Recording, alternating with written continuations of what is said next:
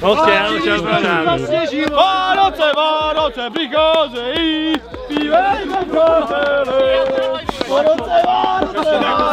Vánoce.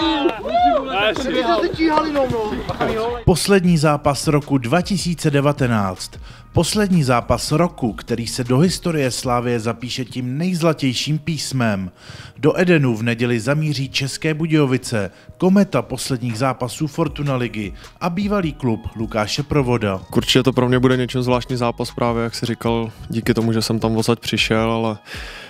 Zase si myslím, že to nebude žádná velká změna, prostě půjdeme do toho zápasu s tím, co vždycky a budeme určitě chtít získat tři body. Takový zvláštní pocity, protože, protože to poslední zápas vlastně v tomhle roce, který byl, který byl vlastně úžasný, takže samozřejmě na zápas se těším, je to doma. Uh, no, no, I když to bylo dlouhý, tak na druhou stranu prostě vím, že to je poslední zápas vlastně na dlouhou dobu, že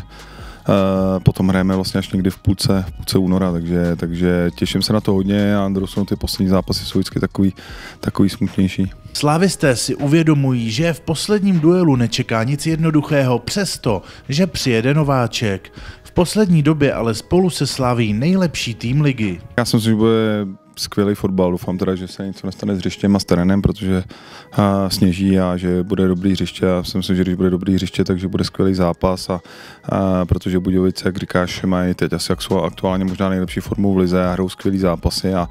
a hlavně hrajou fotbal, hrajou, hrajou kombinačně, hrajou zajímavý, zajímavý fotbal, takže já mm, si myslím, že to bude otevřený fotbal, že bude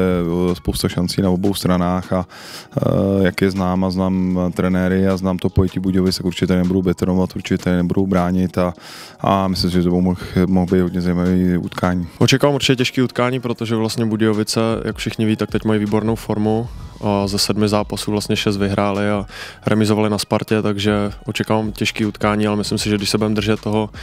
co nás dobí a ty naší hry, tak si myslím, že to nebude problém a získáme tři body. České Budějovice v posledních osmi ligových zápasech nejen, že neprohráli, ale dokonce sedmkrát zvítězili. Jejich výkony zaujaly sešívanou kabinu, ale i celou fotbalovou veřejnost. Na nás udělali dojem v létě, v té přípravě jsme s nimi hráli, když samozřejmě my jsme tam eh, byli v nějakém, nějakém stavu vlastně v té největší únavě, který byla, to je v létě každý, ale my jsme takže to byl opravdu extrém, eh, ale oni hráli velice dobře, takže tam na nás určitě udělali dojem. A pak já je viděl vlastně, protože jsme hráli, tuším, teď nevím, jestli třetí, čtvrtý kolo z hlavy, myslím, že čtvrtý, tak Vlastně jsem viděl všechny ty zápasy předtím a hráli vlastně dobrý zápasy. Pak měli trošku takový útlum a pak se z toho vlastně skvěle zvedli, takže, takže já se na ty zápasy dívám rád, tak, protože sleduju spoustu soupeřů, jak si vybírám vlastně, vlastně zápasy Budějovic, protože eh, jak říkáš, eh, je tam spousta takových podobných věcí, takže, takže je dobrý si vybírat tyhle ty zápasy s těma potenciálníma soupeřema, takže, takže na ně hodně často koukám. Sleduju to hodně, přiznám se určitě, koukám nebo viděl jsem hodně z těch zápasů, co vyhráli a hodně se zlepšili, hrajou super fotbal si myslím, že na to, že je to vlastně nováček v lize, tak předvádí neskutečný výkony a výsledky a určitě očekávám hezký fotbal, protože sem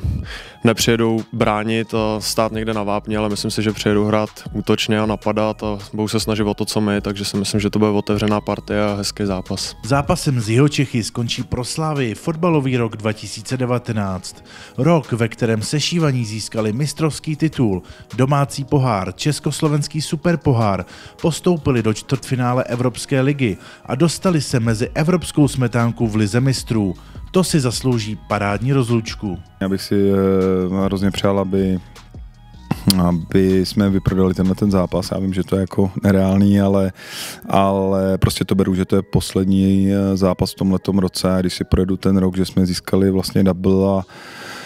hráli jsme, byla, hráli jsme s Chelsea, se Sevedou, s Henkem, uh, s Dortmundem, Bayerne, uh, s, Dortmundem, s Bayernem ještě ne, to snad, snad brzo,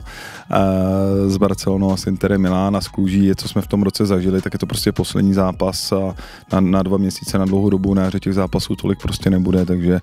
já, co bych si nejvíc přál, kdyby, kdyby kluci přišli na rozcvičku a byli, byli, tam, byli tam i lidi a, a bylo to podobné jako na těch evropských pohárech, aby jsme se vlastně s tím rokem všichni rozloučili tak, jak jsme postupem toho času se k tomuhle tomu všichni propracovávali, takže já bych si přál, aby, aby kluci hráči dostali takový dárek, že tady bude prostě eh, plný dům a ty lidi, kteří přijdou, tak aby dostali dárek samozřejmě v podobě vítězství a hlavně dobrýho fotbalu, aby jsme navázali na, vlastně na ten, na ten Dortmund a takhle určitě budu i apelovat na ty kluky těsně vlastně před tím výkopem, prostě, že, že je to právě poslední zápas v tomhle roce, že to musíme prostě uzavřít a musíme stát, hrát stejně jako, jako v Dortmundu se stejnou se stejným nasazením, takže, takže to je takový moje přání, uvidíme, nakolik my na tom hřišti a nakolik eh, ty lidi, kteří na nás chodí, to dokážeme naplnit. Je to poslední zápas, já teda nejsem rád, že je to poslední zápas, klidně bych hrál dál, ale to volno bude důležitý a zasloužený a všichni se na ně určitě těší a já hlavně doufám, že tu dernieru zvládneme za tři body a potom si užijeme volno a zase najedeme na přípravu a na další zápasy. Vyslyšte výzvu trenéra a přijďte v neděli do Synobo Stadium v Edenu, třeba i oslavit slavistické Vánoce se svými kamarády. Utkání s českými Budějovicemi začíná v neděli v 17 hodin. Všechny organizační důležité informace k zápasu najdete už teď na našem webu slavia.cz nebo v průběhu víkendu na sociálních sítích.